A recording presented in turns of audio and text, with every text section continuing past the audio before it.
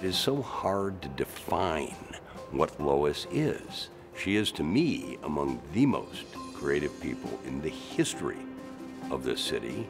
She is, to me, also one of the most sort of intellectual, she's like an intellectual sponge. She actually works well at all the intersections, you know, so that it's not just culture and arts uh, that she knows deeply, but she actually knows the people of Chicago deeply.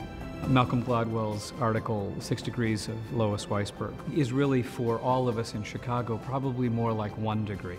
I don't know of any of us in the cultural community that has not touched or been touched by both her wisdom and her passion and her influence. I think it's it's a natural thing to her. I don't think it's a conscious thing. I think she says, you know, I know this other person, you ought to get together and, and maybe something will happen. She had the jazz festivals, Gallery 37, music all over, dancing in the streets, Block 37, uh, the Great Chicago Fire Sale, cows on parade. You could go on and on. We approached her about the cows in the fall of 98 and we made a presentation to her. Basically, at the end of our presentation, she said, oh, okay, well, let's do it.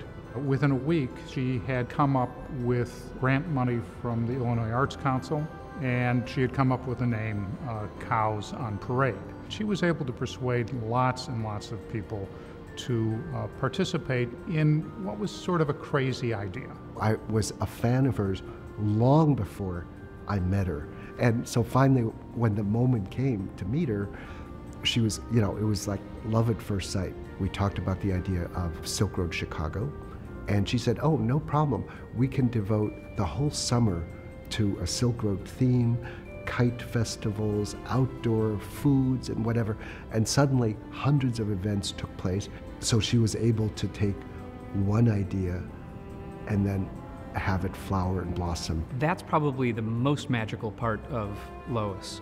If she believed in it, she found the ways to make it happen.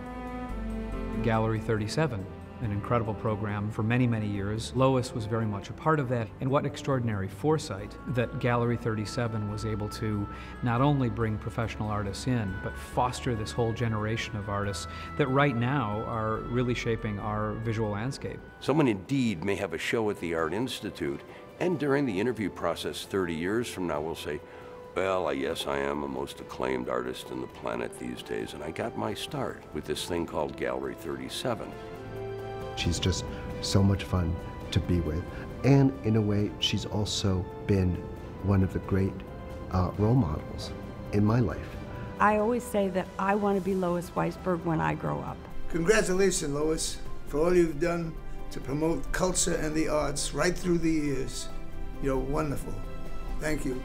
She was, is, and forever will be a force for good and the arts and really what civic responsibility means. And I think the total effect of Lois Weisberg, what I will now call the Weisberg effect, is going to be felt for generations in this town.